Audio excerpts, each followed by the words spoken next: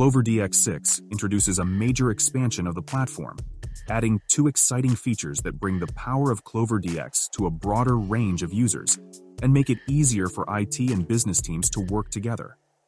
While the foundation of the platform continues to serve as an end-to-end backbone for automation and operation of data pipelines, the newly added Data Catalog and Wrangler give business users ways to explore and access data shared within the platform and to create data transformations on their own without needing help from developers.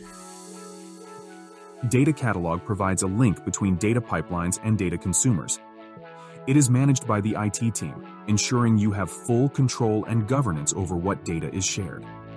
It enables you to provide high-quality, curated data sources that business users can explore and instantly access with Wrangler.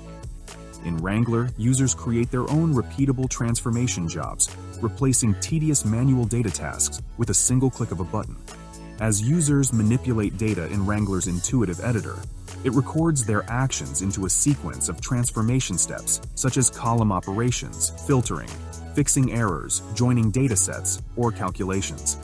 This is a great time saver which allows users to perform tasks only once and replay them as new data comes in. The Data Catalog and Wrangler are tightly integrated with the rest of the CloverDX platform, as both are hosted on the CloverDX server, giving administrators full control and the ability to monitor and directly support business users. Your data catalog is unique to your organization. You populate the data catalog with connectors implemented as CloverDX graphs, giving you unparalleled power and flexibility in how the contents of the data catalog are tailored to specific needs of your organization.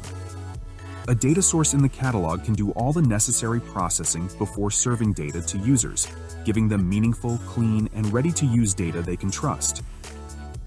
Data works best when shared.